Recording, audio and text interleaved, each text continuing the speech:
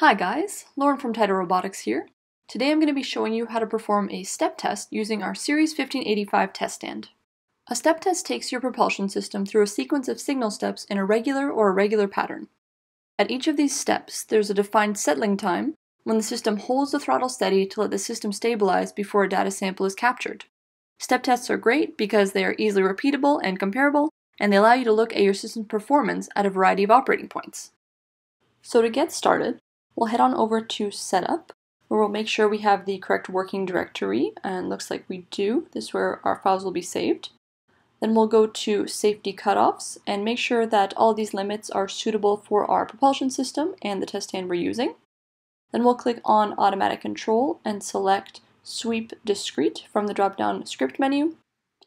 Now the script itself contains lots of useful information for setting up your test. Here you can set the minimum throttle input value as well as the maximum. You can choose how many steps you'd like to cover between that min and max value, your settling time at each step before a measurement is recorded, how many samples to average, whether you'd like your steps to go down as well as up, how many times to repeat the sequence, and finally the file prefixed for your test file. To edit any of these variables, we just need to clone the script. And so I'm going to change our minimum throttle input value and our maximum.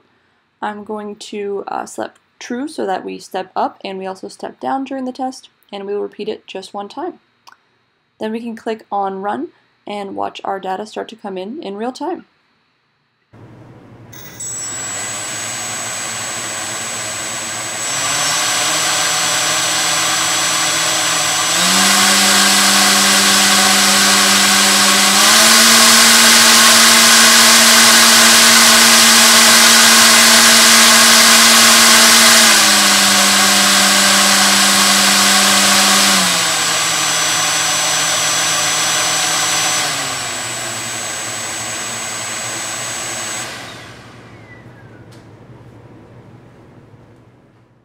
Now, once our test is finished, we can head on over to our working directory and click on the most recent test.